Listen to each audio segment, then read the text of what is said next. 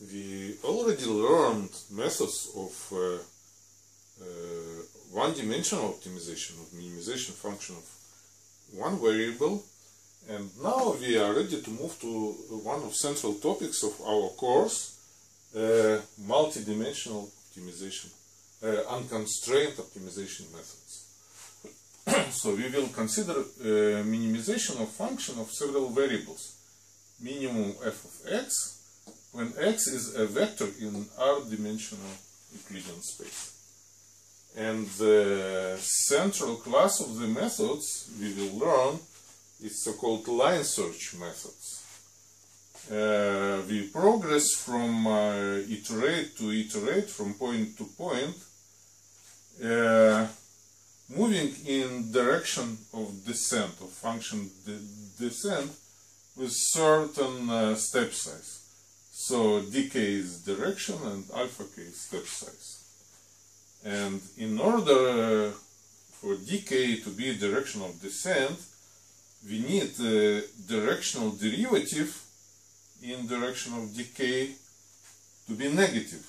And directional de derivative, as you remember, is inner product of gradient with uh, vector of direction.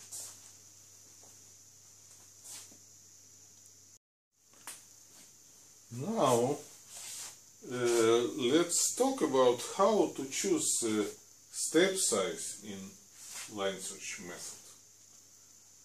Uh, one possibility would to perform exact line search.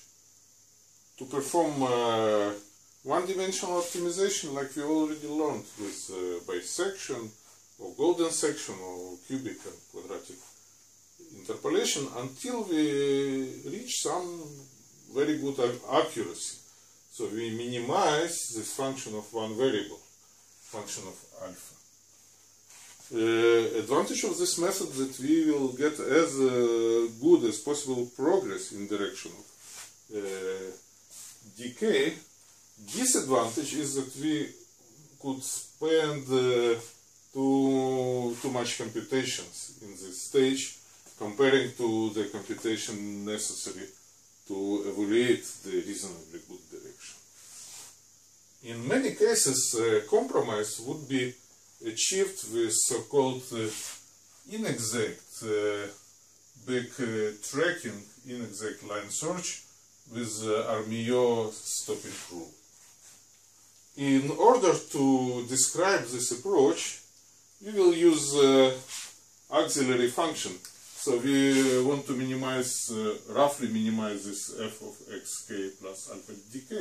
We subtract uh, the value of f of xk in order to have phi of alpha which uh, passes through origin. Its uh, value is 0 when alpha is 0. And this uh, black line is the typical plot of this phi of alpha.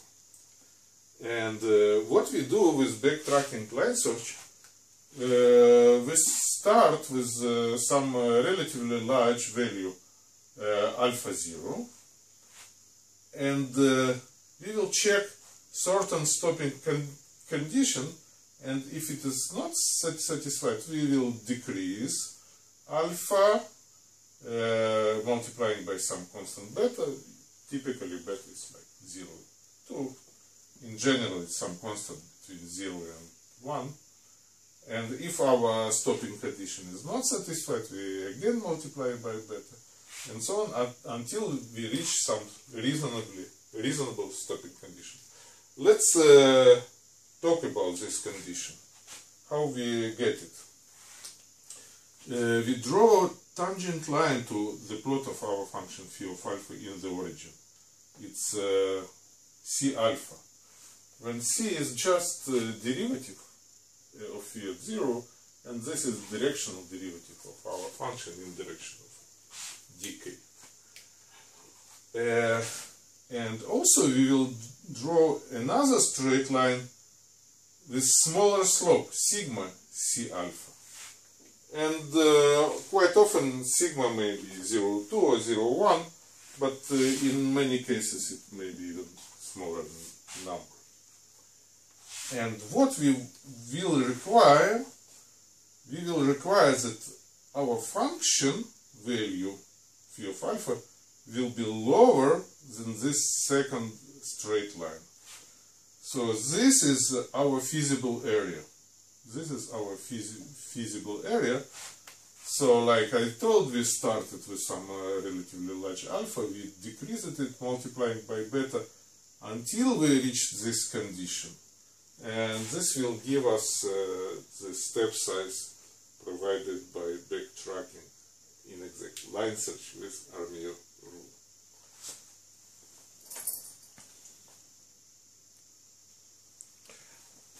I uh, only wanted to add that this approach gives us some reasonable compromise. If, if we would like uh, the slope, uh, the relative decrease of our function to be really good, we could uh, choose very small step size.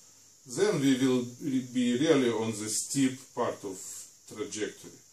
But absolute decrease of our function could be very small. On the other hand, if we choose very large step size, we can get very small decrease of our function uh, or even in, in increase. So Armijo rule will give us some compromise, some reasonable compromise between the first and second option. And uh, there are proofs uh, of many optimization methods. Uh, when they use uh, Armijo rule, one can uh, show that uh, algorithm uh, has convergence.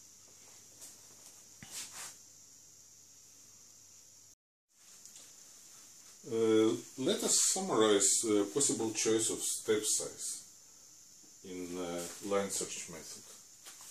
Uh, like we already learned, uh, exact line search, minim exact minimization with respect to alpha, backtracking line search with Armijo rule. other possibilities are constant, constant step size. quite often or sometimes we have no access to function value.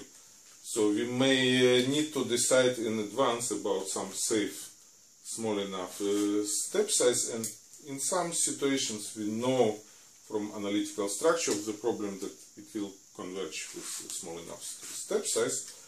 In more general situation uh, we can choose so-called uh, diminishing step size. Uh, we, we build sequence of uh, alpha k step sizes which is go to zero but uh, some should go to infinity. For example, alpha k may be proportional to 1 over k or 1 over square root of k and uh, such options, for example, are popular in stochastic optimization which we may learn later in this course.